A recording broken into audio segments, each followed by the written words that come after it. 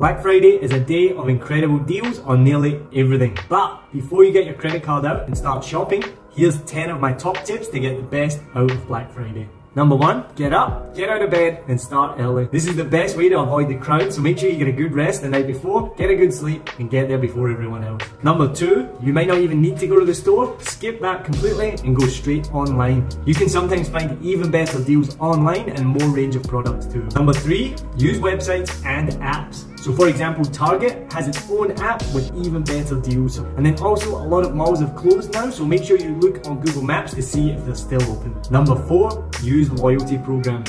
Sometimes you get a discount even for just joining up. And check with your credit card as well, they might have a cashback scheme as well. Number five, get on social media. You'll find some amazing tips here and deals that you might not find anywhere else. And don't forget to use hashtags, you could find some great deals too. Hey, it's Niall from Print Panda, and here are my top tips to get a great deal on this Black Friday.